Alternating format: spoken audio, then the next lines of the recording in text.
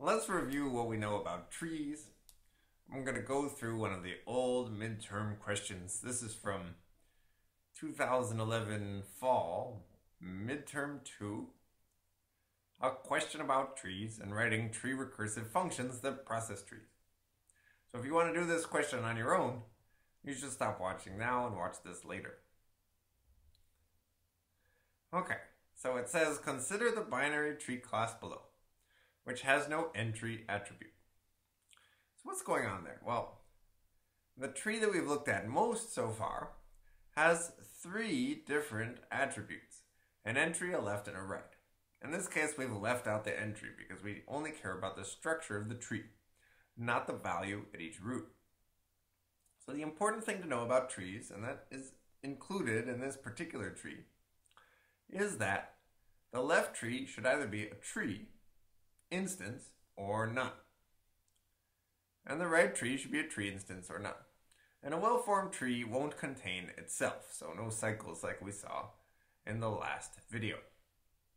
Now, uh, what this class tree does is it has a base class of an object, which is the same as having no base class at all.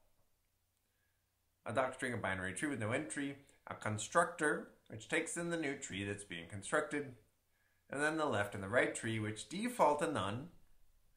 If both are none, this is called a leaf, because there's no tree below it.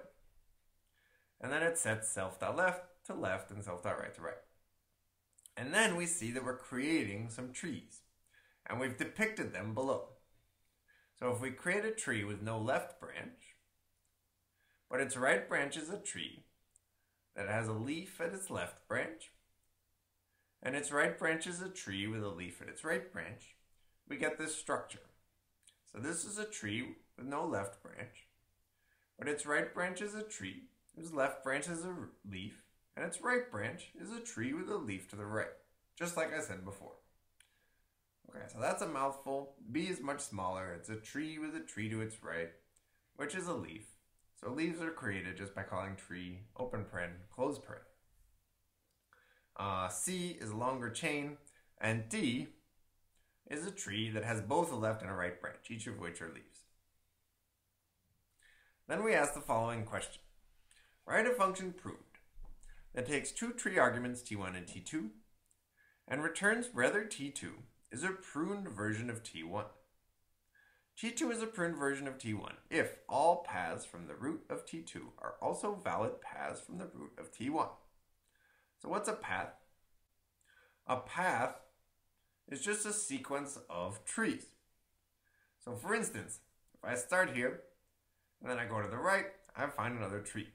So that's a path from here to here, and that same path exists from here to here, because this tree is to the right of this tree. So if we look at each pair of trees, A paired with some other T2, we find that B is a pruned version of A, because every path in B, namely the one that just starts here, or the one that starts here and then goes to the right that come here, also exists in A.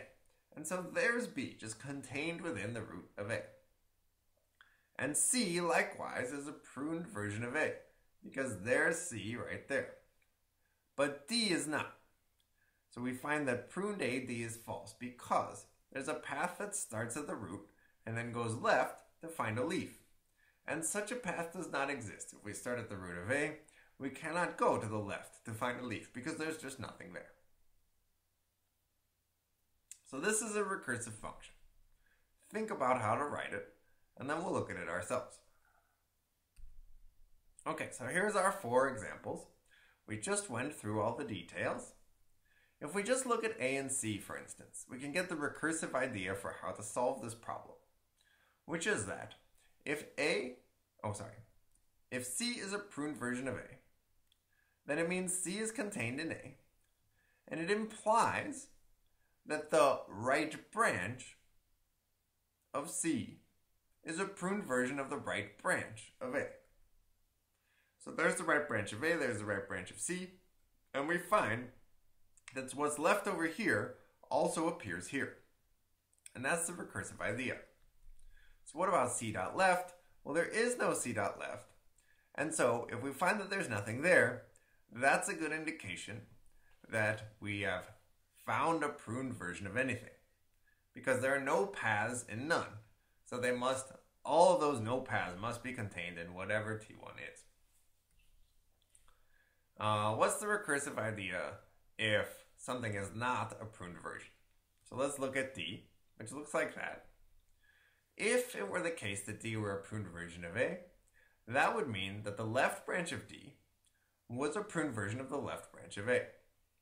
So that, just that single root node, a leaf, would have to be a pruned version of none. But it's not, because there's a path here, just using that one leaf, that doesn't exist in the empty tree none. So when we compare none to something that's not none, then we know that the second element is not a pruned version of the first. And we're going to write a function where the recursive call makes sure that both the left and the right are pruned versions. And the base case is that one or more trees is none. So if T2 is a pruned version of T1, well, one base case is that T2 is none, which means it has no paths, which means T1 must contain all of those paths. So it is true. If T1 is none and T2 is not, well, then in that case there is some path in T2, but it can't possibly be contained in T1 because T1 is none, so we return false.